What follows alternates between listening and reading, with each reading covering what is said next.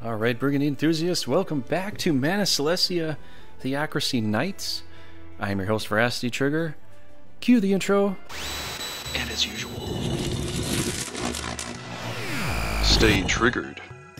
Pew pew. Hope you enjoy. If you do, please leave a like or definitely subscribe for more. That would be perfect. All right, so what we're going to do today was we're going to talk about Frederico. He is a knight with Mana Celestia Theocracy. He is our guy for today. We're going to try to cover him a little bit. I'm just starting up. This is basically a new game. This is how you're going to see him as you load the game. I don't think there will be any difference with what you see here from when you load the game and just are about to start playing as Mana Saleesia Theocracy. So, he is a mage, you know, from this country here. Pretty reliable. Let's talk about his character. He is a male 47 class sorcerer. This blue-blooded owner of a vast stretch of land in Mana decided to join the war to protect his subjects from it. He is a secret believer of the Moana and interacts with people from the sect. Because of this, he will he will be pressed into making a major decision in this war. It's a little key thing to, to look at when you are gonna play this game. You're gonna find out later on what happens with this guy. Though well read and expert tactician, he has unfortunately developed chronic stomach issues because of his sensitive nature, which perpetually troubles him. Okay, so what is he essentially? He's he's basically essentially a mage. He comes as a decent mage. I'd have to say he's one of the more reliable characters that I use when I'm playing Mana Saleesia Theocracy. I feel comfortable Probably because I just feel comfortable playing with mages and just having a backline with, you know, some blast damage and stuff. So if you want to like spread out the damage and all that, you can put him on a, almost any team. He'll round it out pretty well. Uh, he is just kind of okay when it comes to some stats 3, D, and then C. Um, that's, you know, kind of that sort of thing there. Um, you know, it's just it's okay. It's all right. But as you can see here, like if we look at his uh, MP, you know, we've got uh, 375 MP, which is pretty fantastic. I'd have to say that's actually pretty good. So I think when you're using this guy, you're gonna you're gonna feel pretty confident using him. Now he only has 400 HP, so he can go down pretty quick if you're not defending him well enough. But if you want a good, decent mage He's not one of the absolute best. You're going to find out later on something's going to happen. I don't want to spoil it for you if you don't know, but um, I would rely upon him early game, but um, later mid to late game, don't re really focus on relying on him. So I guess don't try to give him the best stats you can give him. You can try. Once you find out what happens, you can try and see as a challenge to see if this will work out for you. But I'm just saying he's a decent mage. He's all right. You're going to enjoy using him initially, and then later on, uh, you know, maybe find a new mage to take over for his position in certain cases.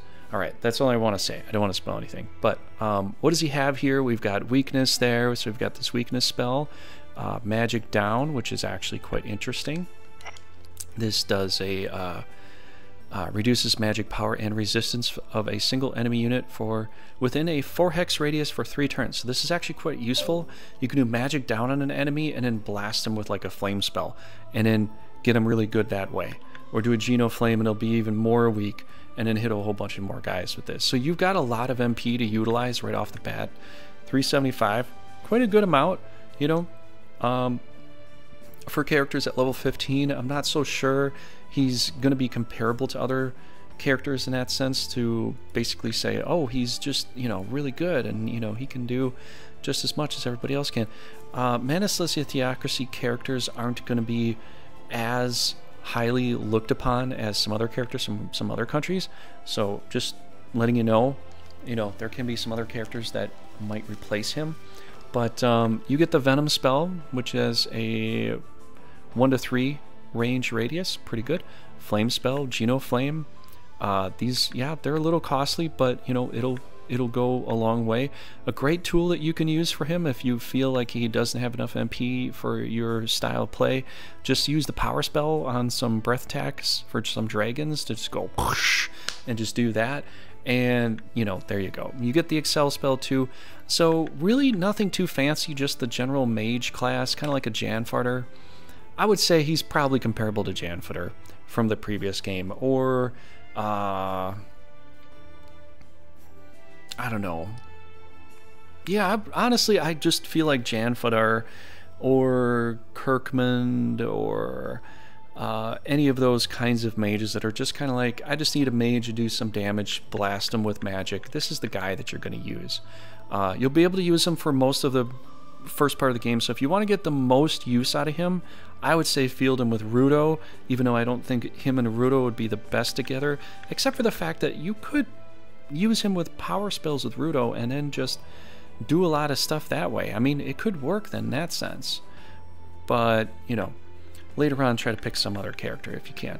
Uh, just get a basically simple middle hit skill, nothing too fancy, just goes for a simple bonk attack, which isn't all that powerful, but yeah, pretty much just the mage class. Nothing too special about the character here.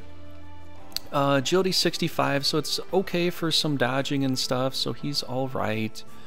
Uh, defense isn't going to be all that great, as you can see, it's just, you know, 80, mobility of 4, so really, you're working with 200 rune power, which I'd have to say, it's not bad. It's not bad to start, so I'd say the rune power to start and go you know, is alright. So if you want to have a powerful Rudo to go out and do a power spell and have a lot of MP for doing Rudo attacks, obviously this is going to be your go-to guy. There are other mages out there, and I know that, but for the way the game plays out, early game, I think he would be probably one of the best matches for Rudo if you're going to go for a very heavy, aggressive Rudo offensive style. If you're just going to go Rudo and one other knight, this could work because then you pop a power spell on Rudo every single time he's about to attack and swing and boom, cut in half. Uh, dead in the water. So I think that's a good call there. Let me know what you think. Let me know how you use this guy. I'd love to know that because um, I haven't really, honestly, I know the strategy for doing it. I haven't done it myself because I really keep more healers with Rudo. But I think in the future I'm going to try this because I think this is going to be uh, pretty good way to just annihilate some castles, especially if you're going to do something like the challenge mode. You could go with Frederico and with Rudo and see how that works, and that might work out pretty well for you. Alright, I'm going to end the video here. There's not too much else to go over and explain about Frederico, but I hope you enjoyed. If you did, definitely subscribe. Do something, help the channel. I will see you in the next Brigandine Guide video or other videos that I have. Take care.